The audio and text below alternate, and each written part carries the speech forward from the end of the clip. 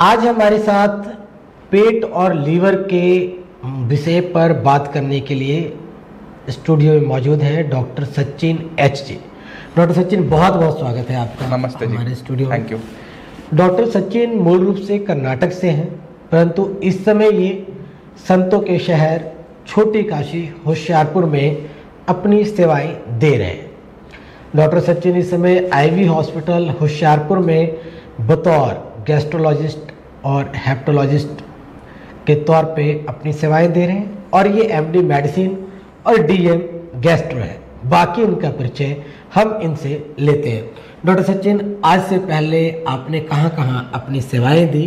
थोड़ा हमारे दर्शकों को बता दें। सबसे पहले होशियारपुर की जनता के लिए मेरी तरफ़ से आ, नमस्कार मैं बोलना चाहता हूँ।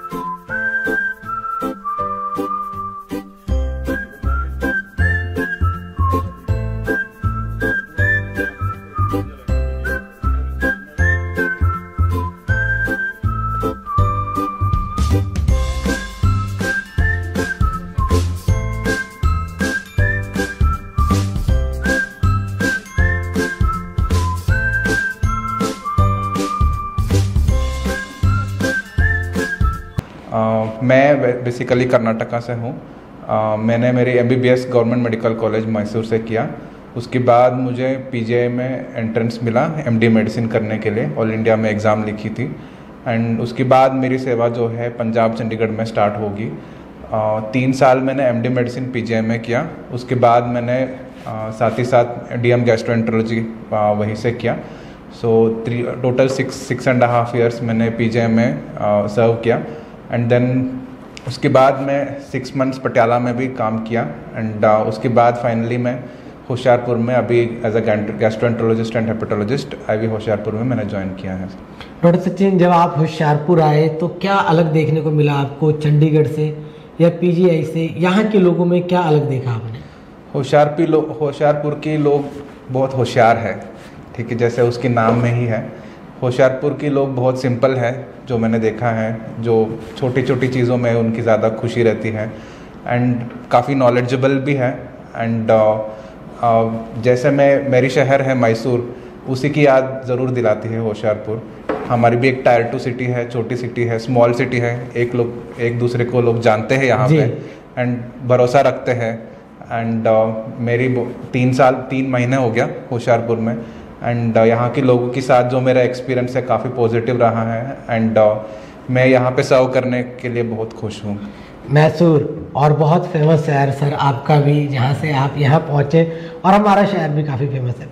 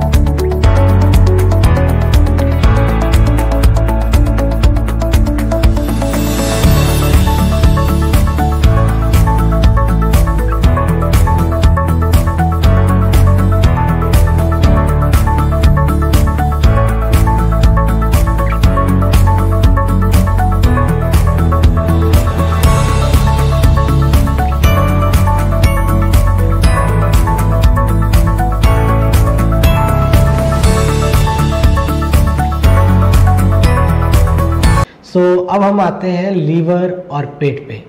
डॉक्टर साहब यहाँ पे जब आप आए तो आपने मुख्य रूप से कौन कौन सी बीमारियों को यहाँ पर ज़्यादा देखा जो पेट और लीवर से जुड़ी थी? पेट और लीवर की एज सच पंजाब में जो मैंने देखा है कि यहाँ पे अल्कोहल संबंधित जो लीवर की प्रॉब्लम है बहुत ज़्यादा है। आ, पहली बात। एंड दूसरी जो है यहाँ हेपेटाइटिस बी एंड सी जो काला पीलिया लोग बोलते हैं उसकी जो केस लोड जो हम कहते हैं बहुत ज़्यादा है यहाँ पे। बाकी लोगों को जो आमतौर पे जो प्रॉब्लम होती है गैस की प्रॉब्लम एसिडिटी की प्रॉब्लम कब्जी की प्रॉब्लम वो तो होते हैं एंड गॉल ब्लैडर की जो प्रॉब्लम्स होते हैं वो काफ़ी मैंने यहाँ पे देखा है। तो डॉक्टर सचिन हम ये भी जानना चाहेंगे कि जैसे कि हमारे पंजाब के लोग हैं खाने पीने के शौकीन हैं छोटी छोटी खुशियों में वो अल्कोहल का प्रयोग करते हैं या फिर उसे जश्न का एक संकेत मानते हैं। पैग खड़का देते हैं बोतल ले आते हैं। तो ये जो अल्कोहल है ये हमारे लीवर पर कितना इफ़ेक्ट करता है? हाँ जी अल्कोहल जो आमतौर पे दारू बोलते हैं हाँ। ये डब्ल्यू एच ओ के द्वारा डिक्लेयर किया है एक टॉक्सिन है ठीक है? सो so, इसकी वजह से जो जो नशा मिलती है वो शॉर्ट टाइम के लिए होती है ठीक? कुछ घंटों के लिए आदमी को लगेगा कि मैं खुश हूँ इनहिबिशन कम हो जाती है ठीक है? जो नॉर्मल इंसान जो कुछ बोलता नहीं है वो कुछ बोलने लग जाते हैं ओपन हो जाते हैं। अगर उसकी क्वांटिटी ज़्यादा हो गया तो और ज़्यादा अलग ही स्टेट में चला जाता है जो उनको लगता है कि मैं खुश हूँ। बट एक्चुअली अल्कोहल की जो काफ़ी नेगेटिव इफेक्ट्स होते हैं वो बाद में और धीरे धीरे आती है। सो so, जैसे कि रेगुलरली जो अल्कोहल लेते हैं ग्रुप बना देते हैं रोज़ दारू पीने की आदत लगाते हैं तो उसकी वजह से हमारे कई ऑर्गन्स में इफ़ेक्ट होती है जैसे लिवर और पैनक्रियास मेनली सो लिवर की जो प्रॉब्लम होती है हमारी जो भगवान ने हमें डेढ़ किलोग्राम का पूरा लिवर दिया है बट लोग क्या करते हैं लोग रोज़ अल्कोहल की यूज़ करते हैं एंड उनको पता भी नहीं लगता है कि उनकी लिवर धीरे धीरे ख़राब हो रही है. एंड एक दिन आती है जब उनकी लिवर अल्टीमेटली जवाब दे देती है एंड उस पॉइंट के बाद वो आउट ऑफ़ रीच हो जाती है। जैसे पेट में पानी आना शुरू हो गया आँखों में पीला पीलिया आना स्टार्ट हो गया। किसी को खून की उल्टी काला लेटरिन आना स्टार्ट हो गया। आपने सुना होगा या बेहोश होने लग गया। जी। उस पॉइंट पे काफ़ी लेट हो जाती है। तब हम सिम्टम्स मैनेज ही कर सकते हैं।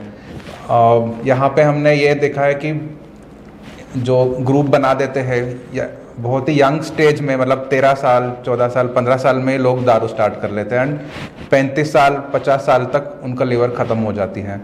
सो so, ये हमने यहाँ पे बहुत देखा है। एंड दूसरा जो पैनक्रियास जो है एक झटके में बहुत ज़्यादा दारू पीते हैं। जी। उन पर अक्यूट पैनक्रेटिस करके एक ना बहुत खतरनाक बीमारी होती है। हमारे पास अभी भी अस्पताल में दो मरीज़ एडमिट है जो अक्यूट पैनक्रेटिस की प्रॉब्लम के साथ गुजर रहे हैं। एंड जो रूटीन में अल्कोहल भी लेते हैं स्मोकिंग भी करते हैं उसमें क्रॉनिक पैनक्रेटिस की बीमारी होती है। आगे वो पैनक्रेस के कैंसर में भी बदल सकती है। सो so, इस तरह की जो लोड यहाँ पे है और इंडिया में एक केरला में है अल्कोहल की जो प्रॉब्लम है, बाकी और, बाकी स्टेट्स में इतना है नहीं।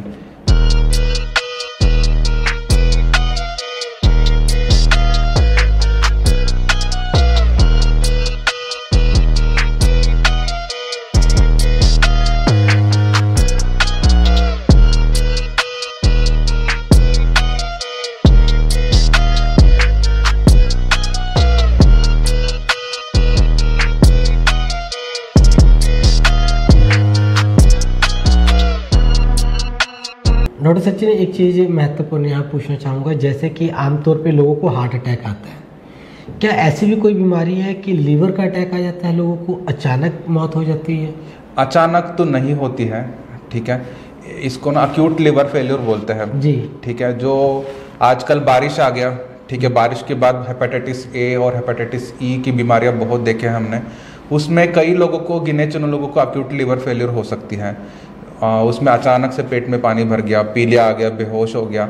ये चीज़ें होती है बट रेयर होती है बट उससे ज़्यादा इम्पोर्टेंट जो मैंने पहले बताया अल्कोहल की वजह से उन्होंने जो एक तरीके से खुद ही अपना लीवर ख़राब कर दिया। ठीक है? ये ज़्यादा कॉमन है। तो आ, लिवर के अटैक सच नहीं होती है वो बहुत रेयर ही है अक्यूट लिवर फेल्योर और ये जो जॉन्डिस हो जाता है लोगों को पीलिया हो जाता है इसके पीछे मुख्य रूप से क्या कारण होता है? पीलिया जो है वो बहुत ही बड़ी टॉपिक है अपने आप से। सो so, पीलिया कई कारण की वजह से हो सकते हैं। जैसे अक्यूट हेपेटाइटिस मैंने बताया हेपेटाइटिस ए और ई डेंगू में हो सकती है। आजकल बारिश के बाद वो भी बहुत कॉमन हो गया। एंड लेप्टोस्पाइला मलेरिया स्क्रब ये कुछ बीमारियाँ हैं जो एक दूसरे से फैल सकती है। एंड और यहाँ पे अल्कोहल की वजह से है ही है जिनको सिरोसिस हो गया उसके बाद डिकम्पनसेशन हो गया उसमें जॉन्डिस हो सकती है अक्यूट लिवर फेलियर में भी जॉन्डिस हो सकती है एंड काला पीलिया जे ले मतलब इस एरिया में जो पॉपुलेशन है थर्टीज़ फोर्टीज़ की जो पॉपुलेशन है उनको 10-20 साल पहले अलग अलग मोड ऑफ़ ट्रांसमिशन से हेपेटाइटिस बी और सी मिला है। जी। तो वो धीरे धीरे सिरोसिस तक पहुँच के उसके बाद जॉन्डिस हो सकती है। पीलिया पर से कोई घबराने वाली चीज़ है नहीं बट उसका वजह कौन सी है वो पता करके उसके आगे बढ़ना होता है।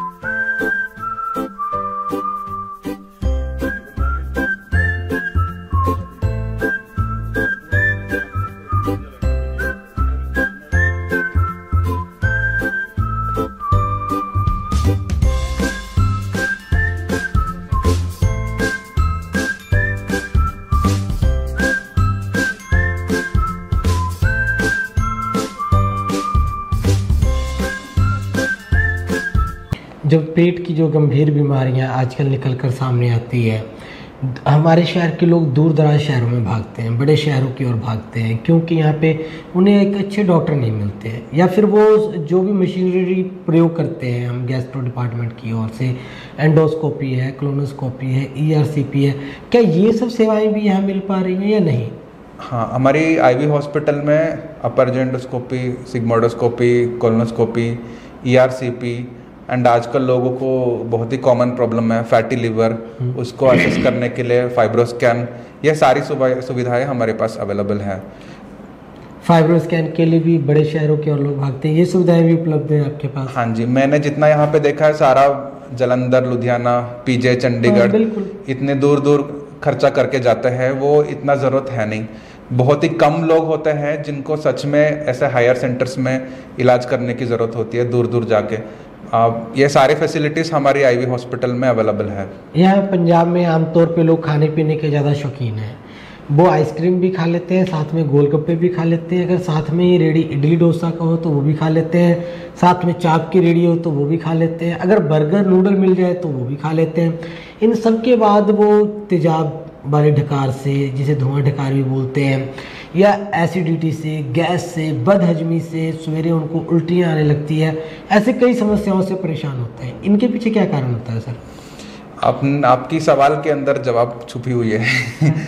सो बेसिकली जो लाइफस्टाइल जो है, आजकल सबको फास्ट फास्ट चाहिए। खाना पाँच मिनट के अंदर ख़त्म करना चाहिए। खाना पाँच मिनट के अंदर बनना चाहिए। उसमें बहुत टेस्टी होना चाहिए। उसमें स्वाद ज़्यादा होना चाहिए। उसमें ऑयल ज़्यादा होना चाहिए। उसमें मसाला ज़्यादा होना चाहिए। हमारी जो इंसान की जो शरीर जो बनी हुई है, इन सब चीज़ों को डाइजेस्ट करने के लिए नहीं बनी हुई है। हमने खुद आदत बनाया है कि हमारी खाना इतना टेस्टी हो जाए, इतना स्पाइसी हो जाए। ये अब अगर कई, कभी एक बार आपने फ्रेंड्स के साथ खुशी मनाने के लिए कहीं बाहर खा के खा लिया तो ठीक है दैट इज़ ओके वो हमारी बॉडी जो है वो एडजस्ट कर लेगी। बाकी हमारी जो रूटीन खाना होना चाहिए घर में बना हुआ साफ़ सुथरा खाना होना चाहिए कम मसाला कम तेल आ, तेल के साथ। एंड खाना हमेशा आराम से बैठ के 15-20 मिनट खाना चाहिए स्लोली स्लोली एंड आठ बजे नौ बजे के बाद अवॉइड करनी चाहिए। दो खाने के बीच में एटलीस्ट चार से छः घंटे गैप रखनी चाहिए। ये वेस्टर्न कल्चर जो है फ़ूड ऑन द गो ये हमारी इंसान की डाइजेस्टिव सिस्टम उसके लिए बनी नहीं है। आप जितना ये सब करते रहोगे हमारे डाइजेस्टिव सिस्टम को प्रॉब्लम ज़रूर खड़ा करोगे। हमारे लीवर को स्वस्थ रखने के लिए पेट को बिल्कुल सही रखने के लिए तंदुरुस्त रखने के लिए आप हमारे दर्शकों को कुछ आइडिया या कुछ सुझाव देंगे? हमारी लीवर जो है बहुत ही स्ट्रॉन्ग ऑर्गन है। आप जितना भी आप उसको काम दोगे वो डेफिनेटली काम ज़रूर करेगा। बट आप जितना अच्छा उसको चलाओगे, उतना अच्छा लॉन्ग टर्म के लिए वो चलेगा। एडवाइस तो सिंपल है, ठीक है? अल्कोहल से दूर रहिए, ठीक है? जो हमारी खाना जो है, बाहर का खाना जितना हो सकता है, उतना कम रखिए। घर में बना हुआ साफ़ सुथरा खाना खा लीजिए। एंड तली हुई चीज़ थोड़ा कम रखिए, क्योंकि जो भी तेल आप खाते हो, वो सारा लीवर में ही डाइजेस्ट होती है। अल्कोहल से दूर रहिए तो यही बता सकते हैं। या जितना कम हो सकता है उतना कम रखिए। महीने में एक बार दो बार दैट इज़ ओके बट जो रूटीन में खा कर लिया हफ़्ते में तीन चार बार कर लिया रूटीन उससे डेफिनेटली दूर रहना चाहिए। बाकी काला पीलिया जो आपने बताया उसके बारे में आपको थोड़ा अवेयर होना चाहिए क्योंकि यहाँ पे आप किसी फैमिली मेंबर को पता लग गया कि काला पीलिया है। अपना टेस्ट आप ज़रूर करवा लीजिए। एंड uh, अपना बॉडी वेट मेंटेन कर लीजिए ठीक है? uh, मैंने जितना देखा यहाँ पे बहुत ज़्यादा कैलोरीज की इंटेक है तली हुई चीज़ें बहुत ज़्यादा खाते हैं। मोटापे जो बोलते हैं वो आगे फैटी लीवर हो जाता है एंड 10-20 साल के बाद लिवर ख़राब हो जाते हैं। तो एक टाइप की जो आ, हमारी जनरेशन की जो प्रॉब्लम है ओबेसिटी ही है। आप आ, देख सकते हैं हार्ट की बीमारियाँ पिछले 20 बीस तीस साल में जैसे प्रॉब्लम हमने फेस किया है अगले 20 तीस साल में लिवर में भी यही होगा। सो so, जितना अच्छा डाइट रखोगे उतना सेहत रहोगा। और बड़ी बात यह है कि अगर आपके मन में कोई भी सवाल है पेट और लीवर को लेकर के तो आप एक तो कमेंट के माध्यम से भी पूछ सकते हैं। और अगर आप इस तरह की किसी बीमारियों से ग्रस्त हैं जो पेट और लीवर से संबंधित है और उसके लिए आप बड़े शहरों की ओर भाग रहे हैं तो डॉक्टर साहब आपके अपने शहर के अंदर भी अपनी ओपीडी की सेवाएँ दे रहे हैं। डॉक्टर साहब मैं सही हूँ? हाँ जी हाँ जी। कहाँ आप अपनी ओपीडी की सेवाएँ दे रहे हैं और समय क्या है? ये भी हमारे दर्शकों को ज़रूर बता दें। मैं आईवी हॉस्पिटल में 10 से साढ़े तीन बजे बजे तक अवेलेबल हूँ। बाकी जो शहर के अंदर जो लोग रहते हैं उनकी बेनिफिट के लिए शाम को चार से छः बजे सिविल हॉस्पिटल के ऑपोजिट शरगुन मेडिकल स्टोर है, वहाँ पे भी हमारी इवनिंग ओपीडी चलती है। हाँ बिल्कुल, सिविल हॉस्पिटल से जब आप प्रभात चौक की ओर बढ़ते हैं तो जहाँ सिविल हॉस्पिटल की दीवार खत्म होती है, बिल्कुल उसके सामने रोड के दूसरी तरफ़ सरगुन मेडिकल हॉल है और उसी सरगुन मेडिकल स्टोर या हॉल के अंदर डॉक्टर साहब चार से छः बजे तक शहरवासियों की सेवाओं के लिए उपलब्ध होते हैं। वहाँ आप आ सकते हैं अपनी पर्ची बनवा सकते हैं और इनसे सुझाव, मशवरा ले सकते हैं, इलाज करवा सकते हैं। और वो भी बिल्कुल नॉमिनल सा फ़ीस है इनका वहाँ पे ओपीडी में। और उसके बाद ये जितना अपने प्रोफेशन से प्यार करते हैं, उससे कहीं ज़्यादा ये अपने मरीजों के लिए गंभीर भी है। क्योंकि ये अपने मरीज़ की बढ़ोतरी नहीं चाहते हैं, मरीज़ को ये कम करना चाहते हैं। परंतु इलाज में ये शुद्धता देते हैं, इलाज की ये गारंटी देते हैं, इलाज में ये क्वालिटी देते हैं। सो ये इनकी क्वालिटी है क्योंकि ये व्यक्तित्व ऐसे हैं और जो व्यक्तित्व अच्छे होते हैं, उनकी इलाज में अच्छाई खुद झलकती है। डॉक्टर साहब, अंत में अगर आप हमारे शहरवासियों से कुछ अपील करना चाहते हैं तो कर सकते हैं।